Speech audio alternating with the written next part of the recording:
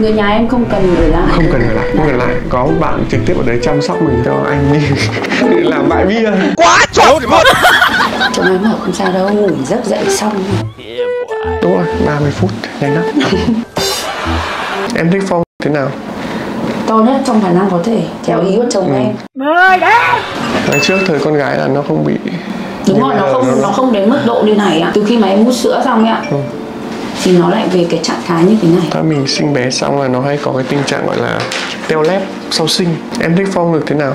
Em mong muốn là nó tự nhiên to nhất trong khả năng có thể theo ý của chồng ừ, em. to nhất là có thể nhưng vẫn tự nhiên đúng không? Vâng vâng. Ừ, vẫn nhưng trông nó tự nhiên. Ừ, với em nó ít như này thì cảm giác nó sẽ hơi cứng. Cái độ chảy tự nhiên của cái bầu nó sẽ ít. Khi mà các bạn có một cái phong tròn đứng cũng rất là đẹp chủ yếu là chúng ta phải làm sao nó không bị tràn ra ngoài Đúng rồi. thì là quan trọng nhất cái Vâng. khe nó phải đạt được cái gọi là một đốt ngón tay thì là sẽ là là là, là đẹp nhất nhé